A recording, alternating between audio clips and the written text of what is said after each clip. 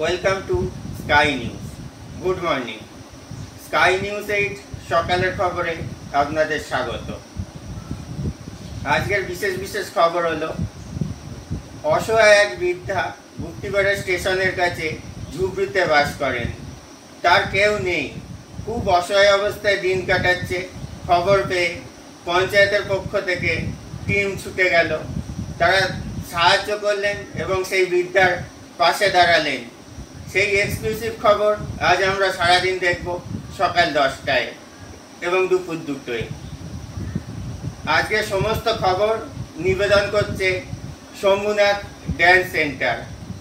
প্রাচীন কলাকেন্দ্র, চণ্ডীগড় অনুমোদিত পরীক্ষার ব্যবস্থা ছাড়া সারা বছর বিভিন্ন স্টেজ পারফরমেন্স, অনুষ্ঠান, টিভি শোতে পারফর্ম করার সুযোগ দিচ্ছে গুপ্তিপাড়ার টেঙ্গিপাড়ার শম্ভুনাথ ড্যান্স সেন্টার আগ্রহীরা যোগাযোগ করতে পারেন nine seven three two five nine zero one zero ফোরে